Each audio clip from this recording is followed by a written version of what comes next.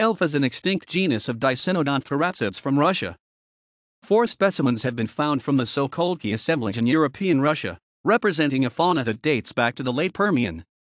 Elph was a small herbivore that lived alongside carnivorous akidnognathids and inostranceviids, as well as larger herbivores like Dicynodon and Pareiasaurids.